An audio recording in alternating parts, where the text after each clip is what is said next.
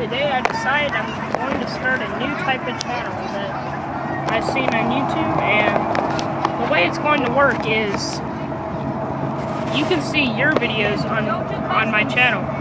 If you send if you send your video to me, it's your in my email address, which will be down in the description below.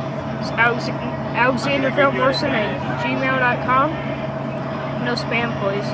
Um, but just uh, send me the video in the email, and I will put it on the channel. Easy as that. But so tell me in the comments below if you like this idea or not. Anyways, and I'll still be making videos, so don't worry about that. But anyways, see you guys. Bye. You could tell them.